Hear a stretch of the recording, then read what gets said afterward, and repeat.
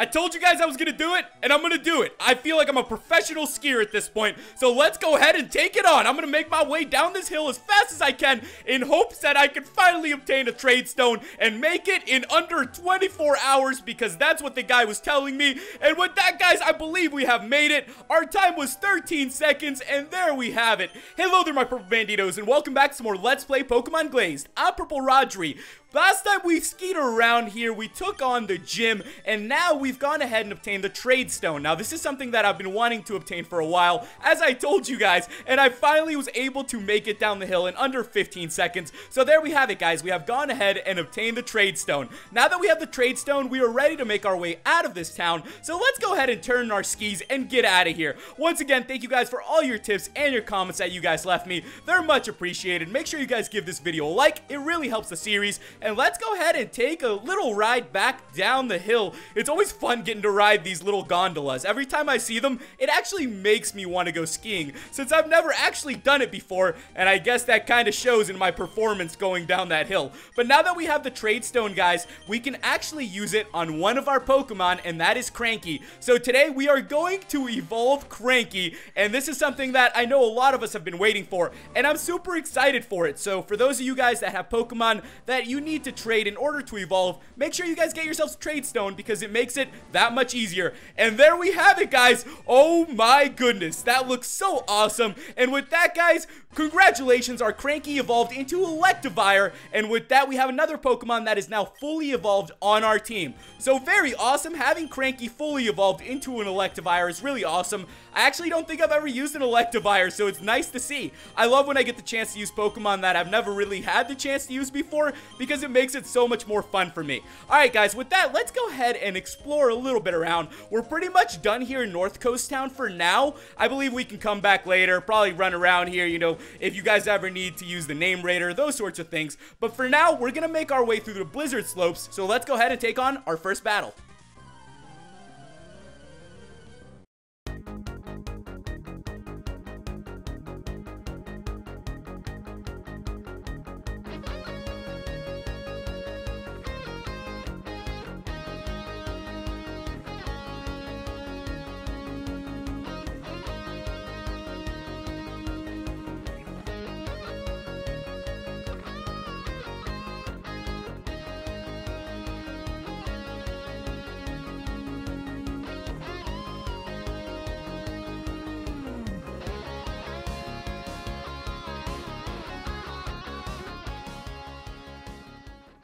I gotta tell you guys, Electivire looks really, really cool in the battles. That's awesome. Whenever we get a Pokemon that just looks like super strong, it's so fun to use them because it just feels like you're intimidating the crap out of the trainers you're going up against. I mean, if you saw an Electivire, tell me you wouldn't be intimidated by that thing. It's this huge electric monster Yeti looking thing. And I believe we're going to have another battle. So let me go ahead and actually put Infernape up in front. You know what? Uh, I don't know. I think we'll be good. Let's take this guy on.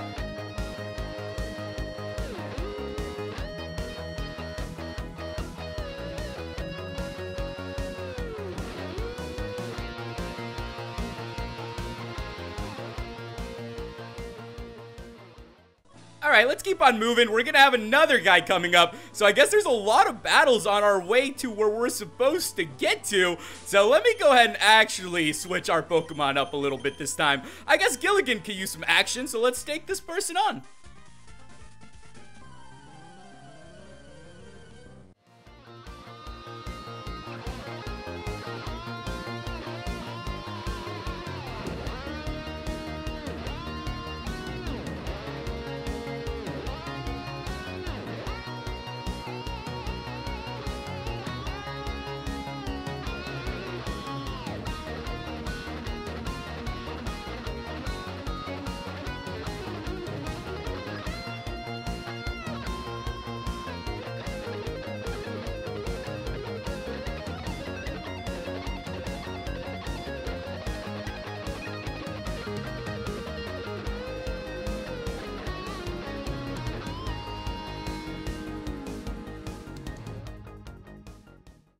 All right, there we have it. Now, I believe that's about it. I don't even know how you're supposed to get those Pokeballs, but it looks like we made it to a lake. And now, if you guys remember, we actually obtained the HM for Surf last time, HM03. So I'm going to go ahead and teach this to Gilligan. Gilligan's the only one that can learn it, clearly. I would be kind of surprised if, like, Lanky ended up learning Surf. You know, that would be one of, like, the most random things. If, like, a fire type could learn Surf and could just, like, surf around and shoot flamethrowers out of it, it would be ridiculous. With that, let's go ahead and surf, though. It looks like we're gonna make our way into a cave, though. This is actually pretty cool. Let's make our way inside the icicle tunnel, though. I wasn't even sure where this route was gonna take us. I was kind of just going into it and hoping that we were headed in the right direction, and it looks like we are. It looks like there's gonna be a couple more battles coming up, though. Let's see. Oh, yeah, we totally don't have a fire move on Daenerys yet, so hopefully we'll be finding an HM, or a TM, I mean, for Daenerys to learn maybe flamethrower soon. That would be really cool. I could definitely use that, so hopefully we'll be finding that very soon. I'm gonna go ahead and just heal up our Pokemon though. I want to make sure, you know, we get the, everybody ready for this cave if it is gonna be that difficult. And so far, it's been so good. So let's go ahead and take this guy on.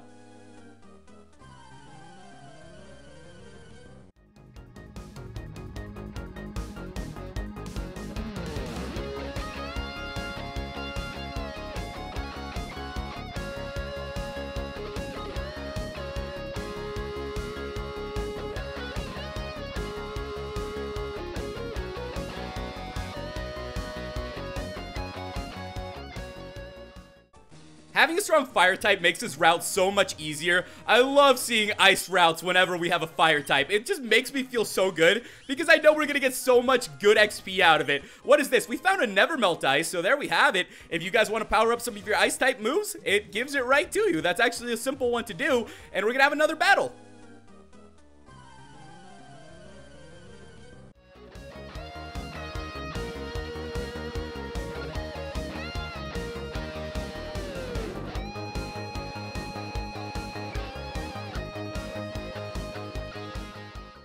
That's funny. I like how that trainer's like, how is it snowing inside of a cave? Honestly, though, how is it snowing inside of a cave? That doesn't make any sense. I guess that's just some Pokemon logic for you. Probably gonna have to battle this guy, though.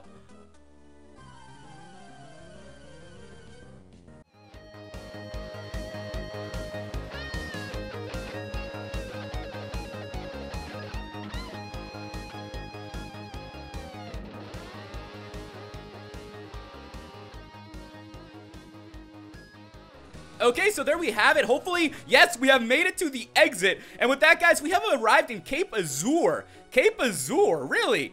Rodri, I thought you might be coming this way. I've heard that Team Fusion might be on the move, and I think I have an idea where they might be heading. Near Chogo Town is the Temporal Tower, which houses ancient ruins from the past. I'm gonna keep an eye out on that tower. Sigh. Sorry, Rodri, I'm just nervous about something important happening soon. Try to keep focused on getting badges, and I'll contact you if something comes up. Once you get the Blaze badge, fly to Choco Town and surf to the east. Be seeing you. Alright, well, thank you. Oh, some girl with green hair has said she was looking for you. She ran off to the Tunod Safari Zone to the south of here. Take care. Oh, so a girl with green hair is looking for us. We've also just been told that we will be getting the HM for Fly very soon, and I'm actually super pumped for that. You know, if we could get that, the sooner the better. This is the performance hall, so I'm guessing there's going to be like little contests there. Now, that's not something I want to go down into, so I'm just going to go ahead and look around here. I always want to explore a little bit because I feel oh, TM30 Shadow Ball. That is actually awesome. The fact that it just kind of gives it to you there. So we'll definitely be teaching that to one of our Pokemon. If you guys have any suggestions on who, let me know. You know, I always take all your guys' suggestions. It means so much to me when I get the chance to read all your comments and the tips you guys give me. It really is fantastic. Hey, Nurse Joy, how's it going? Did you see that uh, my Electivire evolved? Kind of how my fire inside of me is evolving for you, Nurse Joy. You know what I'm saying? Nope, nothing. Nothing, Nurse Joy. Nothing. Let's go ahead and get out of here, guys. You know, I don't even know what to do to impress Nurse Joy. I'm gonna go ahead and stock up on a couple things. But as I was saying to you guys, you know, there's just so much to do here. And it, I really appreciate whenever you guys leave me your tips and your comments on, you know, what I should do or, you know, where we should go. It's really fun. And it makes it so much more fun for me. It just, it's such a blast being able to play with friends. And it's something that I really, really appreciate, guys. You guys don't know how much it really means to me to be able to share, you know, my goofy stories with you guys or go through a different region or adventure. It's so much fun and it means so much to me. So I really do care about you guys and I really appreciate it. You guys have been fantastic throughout this adventure and I'm just so happy that, you know, this is just the beginning of it too. We have so much to do here in this donut region that who knows where the heck this adventure is going to lead. So I'm just going to go ahead and look around here a little bit. I just want to make sure that we don't miss out on anything too important because once in a while, you know, I might run over something that I don't want to. So this looks like it's the inn, the low price of a million Poke Dollars a night. Yeah, let me go ahead and book a room right now when we have like 17 thousand Poke Dollars. We have like no Poke Dollars at this moment. So this looks like it's gonna be Cycling Road, but as you guys know, we don't have a bike yet, so it's not something that we can head down. So yeah, we are definitely gonna have to find a bike somewhere. I guess we can go look in the Safari Zone because that's what Blake told us. I suppose the girl with the green hair is gonna be Chelle, so that's what we're gonna have to go and find, guys. Let's go look for Chelle then, and let's hope that uh, she'll give us something special to continue from here. This guy will actually give you a prize if you catch 20 Pokemon in the Safari Zone. I'm not sure what that prize will be, but maybe it'll be something good. Who knows? Alright, guys, let's go ahead and make our way inside of the Safari Zone then. Hopefully, we'll be able to just, you know, head right inside, take on anybody that's coming at us. I'm not too sure what this Safari Zone is about. I guess it's kind of just throwing you into it, and it's kind of making us do it. Usually, I just skip over the Safari Zones, but for once, it looks like we're gonna have to make our way inside. We need a Pokesnack case. Oh, my goodness. Okay, let's go back to the Cape Azure Performance Hall then. I actually need to find a case to make our way inside of here. That's kind of crazy. You know what I've been thinking a lot about though, guys? Since I slightly mentioned it to you guys yesterday,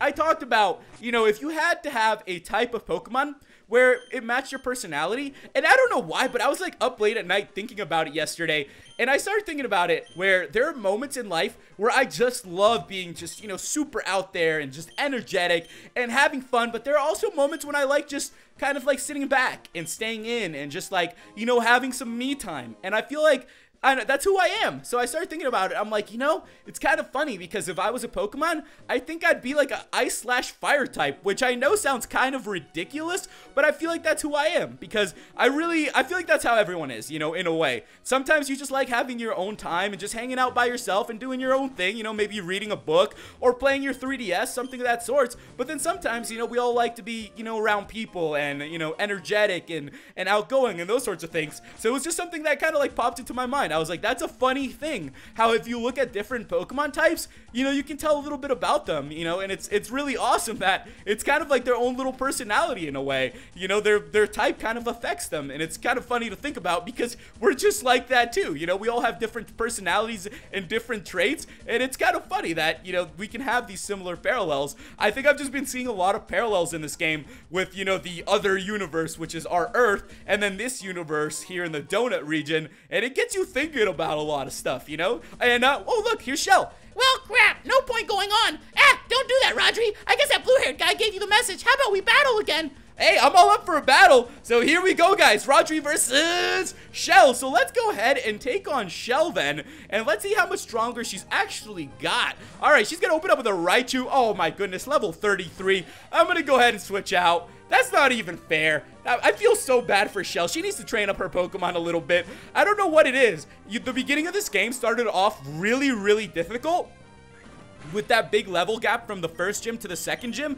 And since then, it's kind of stagnated and it's kind of just stayed the same. I'm wondering if by the next gym, you know, they'll actually reach the 40s, which I'm hoping that they will because our Pokemon are actually really, really well trained right now. I didn't even try to train them this much. We've just had so many battles and so many trainer battles that we've kind of just been, you know, a little bit higher on the XP chart at this point. I'm going to go ahead and switch out to Lanky, though. You know what? Lanky should be able to finish these Pokemon off. So let's go ahead and see if we can just take down Chelle, and then we'll be on our merry way out of here. You know, we'll go ahead and hopefully make our way down the cycling road. Who knows? We'll, we'll figure this out. Oh my goodness, this is just the Breloom's level 31. Okay, so I'm not too sure what Chelle's all about. You know, I've been thinking about that too. You know, we have Blake, who's apparently a member of the Elite Four. We have Chelle, who is sort of a rival, but not really because we kind of like counter Chelle really hard. And then we have Percy, who's kind of like us, who's always seems to be one step ahead. So there's just a lot going on here in the story of Pokemon Glazed, and it's almost a little bit of like a mystery that I'm slowly starting to piece together, and it, that makes it so much more fun. I'm slowly starting to like bring these little pieces together of what this story is going to be about, because I feel like we haven't even you know, gone into what the main story is about. We've heard rumors of there being, you know, things having to do with Mew, having to do with Team Fusion, but we haven't really explored much into it yet. So hopefully we'll start finding out more about this region very soon because this really has been a very mysterious region if you guys just think about it. With that though guys, it looks like we have gone ahead and uh, took down Chelle, so that was actually quite easy. I thought it was going to be a little bit more difficult, but we have gone ahead and done it, so good for us. With that, we got ourselves the Dart Bike, so very cool guys. The Dart Bike will definitely be helping us out, and I am all aboard of that. You know, if we can get the Dart Bike, I am all cool with that. So it looks like there's some rocks here that are breakable, but I'm not sure what exactly these rocks are doing here. I think this is pretty much just a dead end. I don't think there's much left to do here, but that's okay. I suppose, you know, you don't really need that much stuff here. So with that, guys, it looks like we might be done here in the Safari Zone. I don't think there's going to be much left for us to do in this place. So let's go ahead and keep on going then. And it looks like this is to be about it, guys. Well, there's not much left for us to do in the Safari Zone. So let's go ahead and make our way out of here then. I'm kind of excited to get out of here. Oh, wait. There are also a couple Pokeballs that I could pick up. So I guess there are still a couple things that we could look into. So I'm to try to get these Pokeballs. There, there seems to be one up there. And I want to make sure that we don't miss out on some special TMs or HMs because you never know. A Deino, really? It's kind of funny to see a Deino here. I thought all of the uh, pseudo-legendaries were going to at that patch where the professor led us into. But I guess, you know, here in this cave, they're to have a bunch more things to do as well. With that, though, we found a max revive. And let's keep on going, though, because I believe there's to be one more item here that we need to find. And that's what I'm to be going after. So let me go ahead and just run up here. It's kind of funny that we surf on a Goldeen, by the way. I keep seeing that, and I'm just like, when the heck did we catch a Goldeen? I really don't know why it's a Goldeen. Normally, it's like a shadow of a Lapras or something. But for some reason here, we're just going to be riding on the backs of a Goldeen, a Wobbuffet. What the heck? Okay, that's kind of funny to see. Let's keep on going, though, and I believe we're really close to where we actually want to be. Hopefully, it'll be a really good TM or something. You know, it could magically be Flamethrower, and I'd be feeling super happy about it because, hey, who wouldn't want Flamethrower? You know, at this point in the game, I would really, really love that. So if you guys know where the heck Flamethrower is, let me know. TM05 Roar, eh, at least we found a TM. I suppose it's better than nothing to go ahead and find that. Let's go ahead and get out of here then, guys. I'm not too sure how to actually get out of this place, though. So I'm gonna go ahead and uh, figure this out. I'm gonna go ahead and figure this out. I think we just need to talk to the guard. So let me just go ahead and talk to him. I don't really know how else we get out of here. Good luck. If you need anything, don't hesitate to tell me. I'll figure this out. You know, sometimes, guys, I begin to think that it might be our character that isn't blonde and that it might be me because all I had to do was hit start and get out of there. That was it. But sometimes I have to make things a little bit more difficult on us. So with that, guys, we are done in the Safari Zone for today and we have obtained the dart bike so very cool. We'll be able to make our way down cycling road next time and i'm actually really excited for that. So we have done quite a bit today guys. We actually did knock out a lot. So next time we will continue from this point make our way through cycling road. So if you guys have any tips on what's coming up let me know. Make sure you guys give this video a like. Thank you guys so much for watching and i'll catch you in the next episode. Goodbye